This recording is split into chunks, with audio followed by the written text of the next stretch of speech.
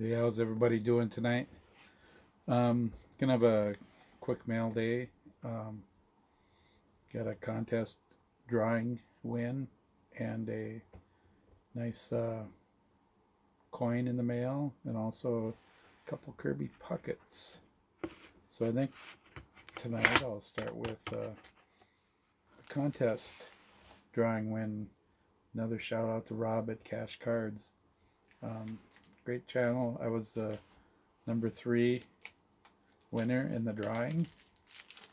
So actually felt like I did a lot better with the card I received. Um,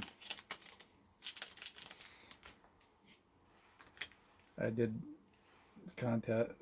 The other two winners picked cards, and then I got what was left over, which to me is a very nice card. Thanks, Rob, for running the contest. I really love this card.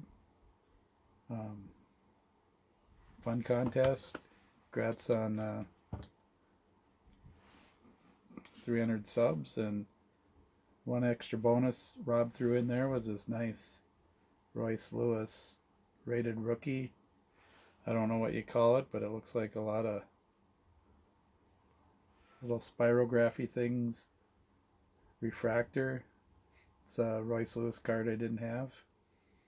Um, and that goes in my Royce Lewis collection. Thanks again, Rob. Fun contest. Um, check his channel out. It's well worth it. Um, next uh, item I got in, I got this laser um, 1996 Topps laser. It's actually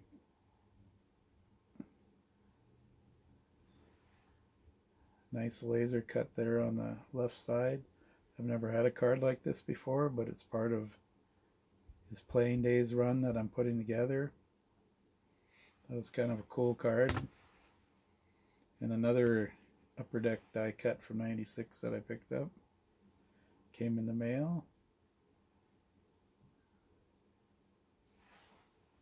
That's the uh, hot commodities.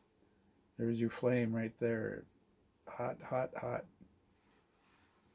So I'm at 447 for my Puckett count. And there's right around a thousand playing days cards that are that fit in a top loader. And that's the only restriction I have. They fit in a top loader and the top loaders fit in my box. And I expect to have around a thousand cards when I'm done. And the last item I have to show you 1971 Topps coins. I remember opening packs and pulling these coins out. And I do have a coin collection of the 65 Old London. I'm working on that set. So this is probably taking my mind off it. Um, the PSA graded sevens or higher have kind of disappeared from eBay. I don't see them at shows. So I'm just kind of get sidetracked off and on and picked up a 1971 PSA 7 Tony Oliva. I remember the ones I had back in the day, they all get nice and rubbed together and scratched and dinged and all the good stuff. So we'll see where there's where this leads in the future. I have uh, another mail day coming in next week. Um, nice hockey set, actually two hockey sets, and uh, SGC reveal coming up next week. So um, I'm going to be heading to the flea market in McKinney, Texas this Saturday. It's supposed to be like 400 vendors there, so you never know what you're going to find at a flea market. It's like a box of chocolates, I guess. You never know what you're going to find. So thanks everybody for watching and have a great weekend.